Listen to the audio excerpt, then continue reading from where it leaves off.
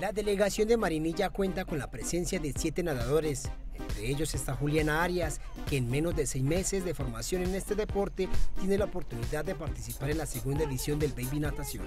Yo tengo la ilusión de ganar, pues yo quiero ganar y sé que voy a ganar si Dios quiere. Con esfuerzo y dedicación, Juliana se está formando para ser una ganadora en esta disciplina, en la cual participa en las cuatro pruebas del festival. Pues enseñar pecho y, antes no me iba tan bien, pero ahora sí me va muy bien en pecho. Y después en libre, en espalda y en mariposa.